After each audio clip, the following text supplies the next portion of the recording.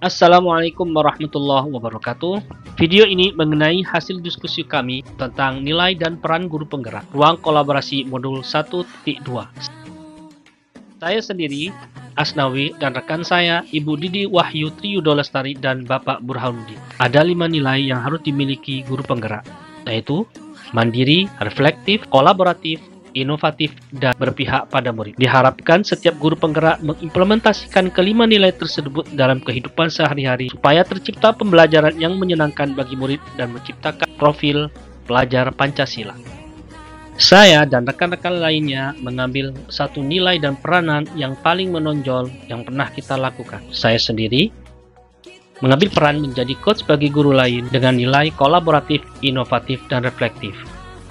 Kegiatan yang pernah saya lakukan sebagai pemateri IHT, pembuatan media pembelajaran interaktif pada MGMP Matematika SMP Sekabupaten Kutai Tim. Sebagai narasumber pemanfaatan AI dalam pembelajaran pada webinar di BGP Kaltim. Juga beberapa kegiatan seperti menjadi narasumber berbagi praktik baik media interaktif di MGMP Bahasa Inggris, IHT pengembangan website sekolah di SDT Darussalam, IHT media interaktif di PAUD IT Darussalam, dan upgrading skill TIK guru SMP Darussalam setiap bulan sekali. Strategi penguatan yang saya lakukan terus meningkatkan kemampuan dalam bidang TIK, mengikuti berbagai kompetisi dalam rangka meningkatkan kompetensi dan berbagi pengalaman praktik baik.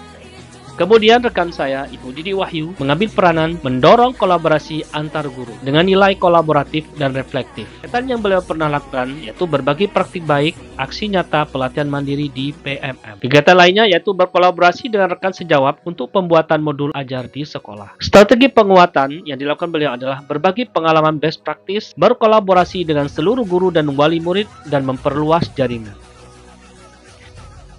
Kemudian rekan kami, yaitu Bapak Burhanuddin, mengambil peranan dengan mewujudkan kepemimpinan murid dengan nilai mandiri berpihak pada murid. Kegiatan yang pernah beliau lakukan yaitu mengikuti diklat dan bimtek pengembangan kompetensi pada mata pelajaran matematika dan juga sebagai pemateri pada seminar pendidikan. Strategi penguatannya yaitu meningkatkan kompetensi dengan mengikuti berbagai kegiatan, menciptakan strategi baru guna meningkatkan semangat belajar murid dan terus belajar meningkatkan kemampuan dalam bidang TIK. Kami mengambil peranan dan nilai bersama mendorong kolaborasi antar guru dengan nilai yang ada kolaboratif, inovatif, reflektif, mandiri, berpihak pada murid. Dengan rancangan kegiatan yang kita akan lakukan yaitu berbagi praktik baik pemanfaatan media pembelajaran dalam komunitas belajar guna mewujudkan pembelajaran yang efektif dan menyenangkan bagi murid. Semoga bermanfaat. Terima kasih. Assalamualaikum warahmatullahi wabarakatuh.